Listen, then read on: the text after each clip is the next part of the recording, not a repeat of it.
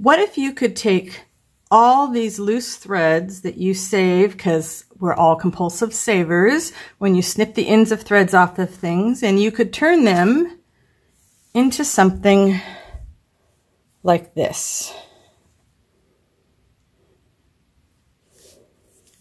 How cool is that? This is called cordage. And this is my version of it. I just learned how to make this recently. Thank you to Alice Fox and the wonderful class I took from her. And I have been trying to think of something I could do to use up more of my threads. You guys have seen me do some things with my mini spirit sticks and my clusters. This is one more thing we can do with those. So let me show you how. And the best thing about this, as far as I'm concerned, is you don't need any special equipment. Now those were made with threads. This one was made with just two pieces with pieces of fabric. So another thing for fabric scraps.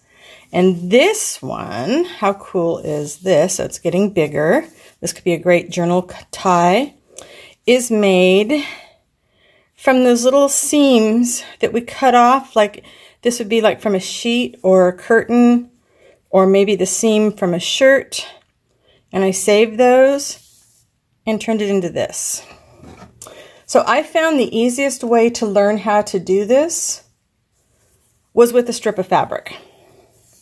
Okay, and this is oh, a little more than a quarter inch wide. And any kind of fabric would work.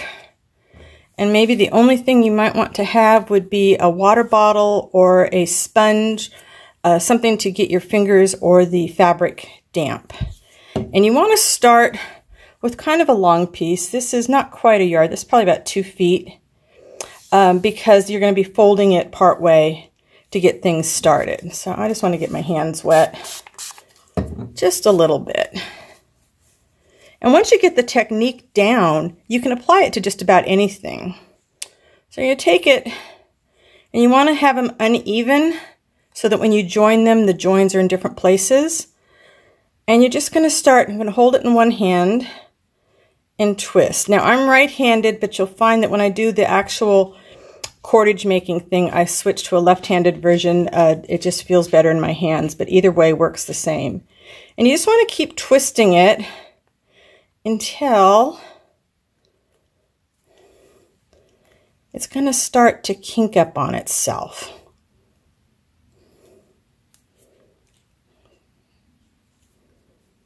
See that little kink happening?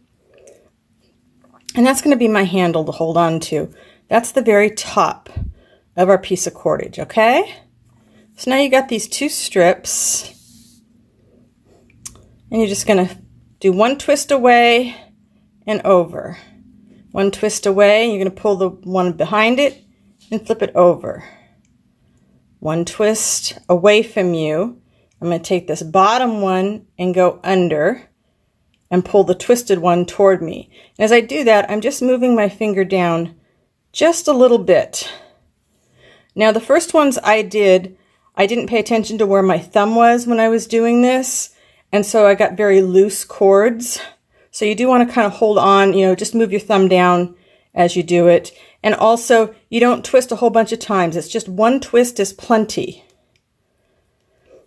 I am far from a pro at this. I just learned this this week, so there'll be a lot of basket makers and cordage makers out there that I'm sure will give lots of tips in the comments, and that's awesome. I love it when we share our knowledge. But I did find that learning this with a piece of fabric first was great. And then honestly, I've spent the last couple days making cordage out of anything I can. And there'll be a, a lot more videos coming forward showing you the different things. But today I want to show you about threads. And that's all that is, okay? And it becomes stronger, of course, as we bind it together. So let me show you again. That's just twist it away and bring the twisted part over and the other one goes behind. Lots of people have great videos on how to make cordage. If you just go search for how to make cordage, You will find people making it out of paper. You can do this with newspaper. I did one with packing paper. Okay, so that's the basics. So now, what about when we want to use our threads? What do we do? We need something that we're going to be able to twist, right? So what I do, I mean, I just, I love these. Look at how strong these are. These were my cut threads. These are all my little loose bits of thread.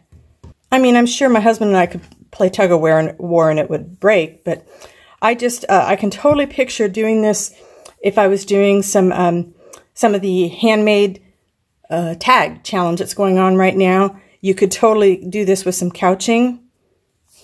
You could use it to hold the top of a tag. You could do it as a journal. Lots of things you could do. So let's make some. All right. So what I found it to be easiest is to get my long pieces done ahead of time. Get some of them just so I could get started. Because then what happens is once you get the technique down on how to just do the twist, you can sit there and be watching YouTube videos and doing it all day long. Now, if you want really fine, let me see if I can show you here. So in the beginning here, I've got some that's very, very fine and then it gets different sizes. Now, I like that. I really wanted something that was going to have a variety of sizes. The thinner your initial pieces are to start with, the thinner your, your cordage is going to be. So, as you can see, this started with, it's actually double pieces of fabric because it's a seam. So this is much thicker than something like this. This is just two pieces of fabric, so it's not quite as thick as this. So if you want something really, really fine, you're going to have to, you know, maybe just do two threads together. But I was more concerned about how I could use up all these scraps. And so you want to get some long pieces to start with. All right, so there are a couple ways you can do that. Let's work on my blue one. And again, you need no equipment but some water. You could spit on your hands, but you're going to run out of spit before too long. This is really a great way to use up any, this is that fine bits of sari silk. And I just, I love using that because it kind of helps, you know, bind the other stuff together. This is some very stiff thread. And it's probably what was like at the end of a roll. I'm going to use a pair of scissors just to cut off a piece of it. It does not have to be long straight pieces like this. So let's get some short ones. And you get this wonderful mix in your threads that just, I don't know, I think it looks fabulous. I love it so much. All right, so you could, it's going to take you a little longer, but you could just twist it kind of loosely with your fingers. And the very first one I did, that's exactly what I did. These are all just finger twisted together, so it's a little fatter. I wasn't trying to get skinny things. And I got that long thread there. Oh, here's a little something cut from some fibers. I can just twist that in there. Now here's where if you got a fat thing like that, add some water to it and twist it. You know, and you're not expecting all of this to stay together. You just want to get it to hold together enough that you can start to twine it.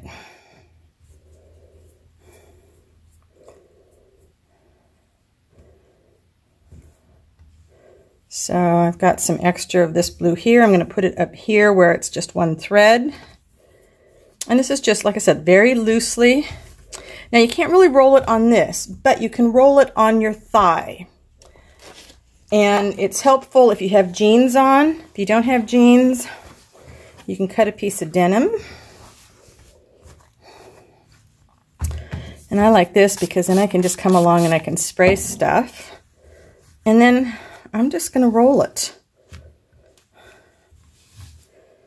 Now, you know, if you're a spinner, you could obviously spin this into something that would be a little bit more like thread. But again, the whole idea of this is just to use what we have here. We don't need anything else. I will warn you, if you start rolling this on your thigh, your thigh is going to get sore. and I have been told uh, you can wear a hole in your pants. So uh, I just put this over my lap and that works really well, but this is easier for the film. So if you want it tighter, just keep dampening it. And you can really, you can go back and forth. And as you do that, you're sort of moving your fingers down the threads. Get it wet. And you're stretching it. So this is getting just a little bit longer. And again, I'm not trying to get everything the same thickness. It does make a difference in the type of cordage. I wanted something that was going to be kind of bumpy. Now I've got my nice long piece. Let's get it started. And you don't worry about these little loose things like this. You can go ahead and try and put them in there a little more if you want. If you're really bothered by it, grab a little bit of the sari stuff. So now you got your nice long piece. Okay. And I don't want to go in half because that's going to put my joins at the same spot. So instead of in half, I'm going to go about like that. And I'm just going to start my twist.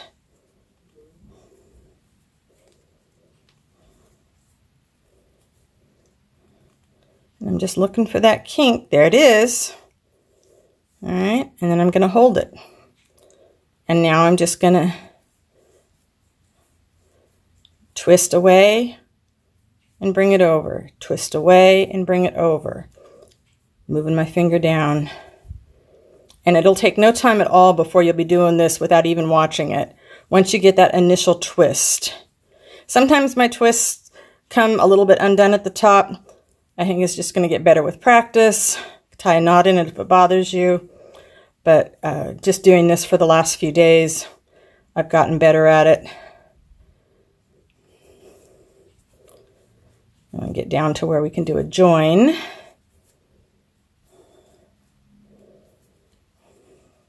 These would make great friendship bracelets if you want to do this with your kids. Said you could use them for ties to close a journal, put them on the top of a tag, do some little stitching. All right. And see, we're getting all this nice bumpy stuff. I think it's just going to be really great. I can't wait to use these on my nature clusters. Little bit further so I can do a join.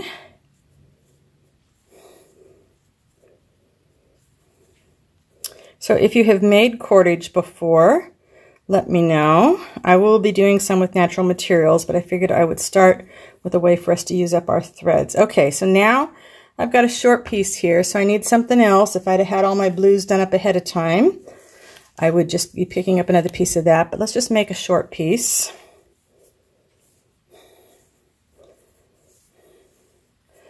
And I'm just going to hand twist it. Oops, I don't want that green in there. And I'm just going to hand twist this just enough that I can do a join. So see, it's it's not going to hold together if you do this, but it's enough to get you to start to do the cordage, and then it's going to hold together. I just like the, uh, the thigh rolling because it gets it a little stronger to start with. Now you can do this one of two ways. You can lay it over so there's a little bit sticking out the other side. And then you can just cut that off when you're done. Or if you leave a really long piece, you could tie something to it. Or I'm going to try and just put it right here in the middle. I'm going to just lay it on top of my back piece. And I'm just going to twist it. And that one, I'll give it a couple of twists. And now I've got two long pieces. You can see I'm just holding those together and it's just going to weave in to the main part of the cordage. And then pretty soon I'll just have the two pieces here.